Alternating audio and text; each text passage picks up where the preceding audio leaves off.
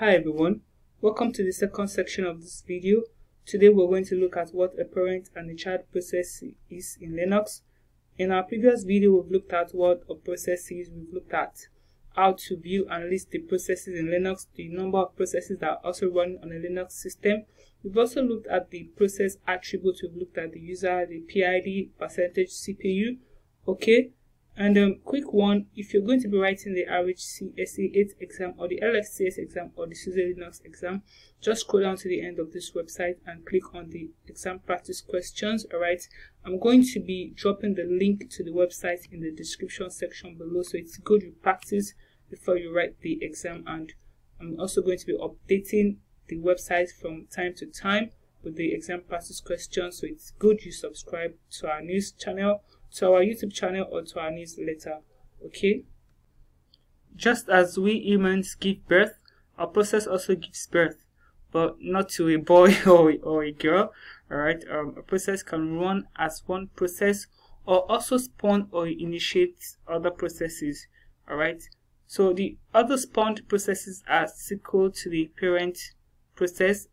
Alright, and the other spawn processes that are equal to the parent process are child processes. So while the processes that spawns or initiate the other processes are parent processes. So a um, parent gives birth to a child, alright, and our parent processes to usually have a parent process ID, and the parent process, um, the PPID, which is the parent process ID field, was what we saw when we used the standard the ps-ef alright to check all the running processes on the system. So let's see what a parent and child processes looks like. So if I use the command psfax for example you can see um, the tree-like process. Let me just scroll to the top. So for example you can see this process okay? And then you can see this ones that branches out. Okay this is a very good example.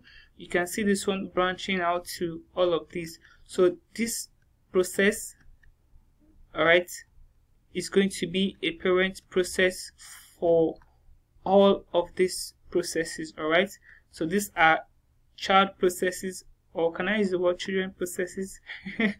So these are this is a child process all right to this parent process why this is a parent process to this child processes okay?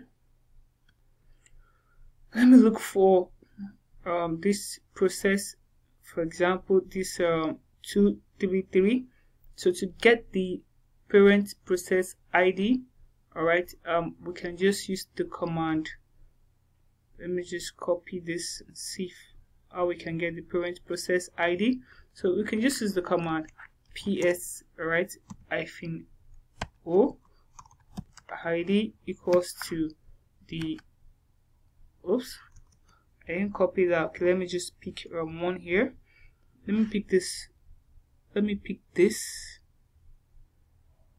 3279 so I'm just going to use 3279 so you can see the parent process ID of this process all right so these are the uh, parent process IDs so if I kill this process okay or I kill here or here then this process will also die. Okay so if you kill a parent process the child process will die. And if you kill a child process the parent process will not die as we go on, we'll look at how to kill processes in Linux. To view a um, process tree, you use the command pstree. Alright, you'll be able to see the process tree. Okay. So how do you find a specific running process in Linux? Alright, so if you don't want to see all the running processes, you can just view or see a specific running process. And to see a specific running process, you can pipe the command to the grep utility. One thing you must know that one thing you must know is that every processes have a process ID, as I've always said. So if a process is running, the process ID is also associated to the process automatically.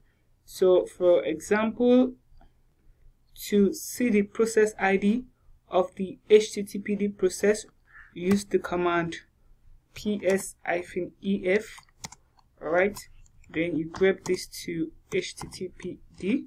Don't forget, I said this is the standard syntax. You can either use AUX, which is the BSD syntax, whichever one you like and whichever one that is preferable for you, both will work. They're just different syntaxes. So, alright, so you can see the process ID of the HTTPD process. To see the process ID of the VSFTPD process, you can just follow the same approach. VSFTPD. Alright, so you can see the process ID of the VSFTPD process. And um, you can also use the command PID of, for example, PID of VSFTPD. It will show you the um, process ID of this process or service. Okay. In the next video, we're going to look at how to kill a process in Linux. We're also going to look at um, how to do with a job in Linux. Alright, so thank you for watching. Please subscribe to this channel and bye for now.